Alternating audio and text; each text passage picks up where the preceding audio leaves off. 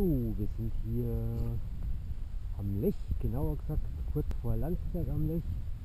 Und ich habe hier einen wunderschönen Luftballon gefunden von der Schwetzlinger Zeitung, der Hockenheimer Tageszeitung,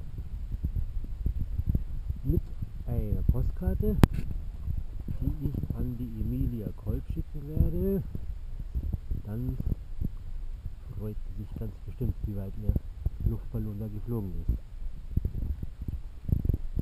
Und Bobby ist es bestens sichtbar durch eine neue Markierung. Ja? Wirst du verarscht und weißt es gar nicht. Ja? ja? So,